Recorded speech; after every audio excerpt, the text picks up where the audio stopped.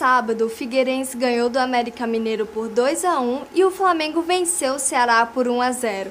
Veja agora os jogos da trigésima rodada do Brasileirão e outras notícias aqui no Alô Esporte. Todos os times que estavam no topo da tabela venceram jogos, menos o São Paulo, que tomou de 3 a 0 para o Atlético Goianiense e desceu para a sexta posição. Vamos aos lances no Serra Dourada. No cruzamento de Anderson, a bola passa pela zaga e Gilson marca de cabeça, 1 a 0 para o Atlético.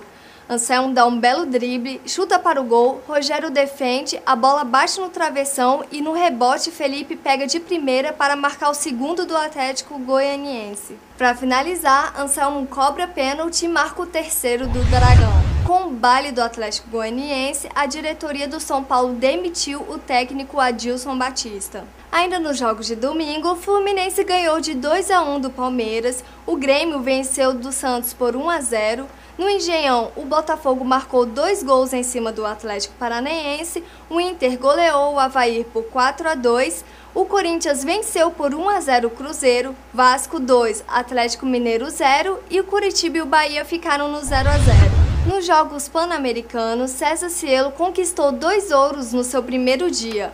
O Brasil está na segunda posição de medalhas do PAN, ao todo são 13 medalhas, 5 de ouro, 5 de prata e 3 de bronze. Os Estados Unidos lideram com 26 medalhas.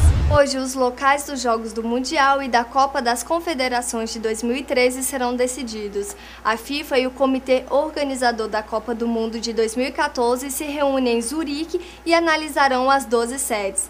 As principais candidatas para abertura são Brasília, Belo Horizonte, Salvador e São Paulo.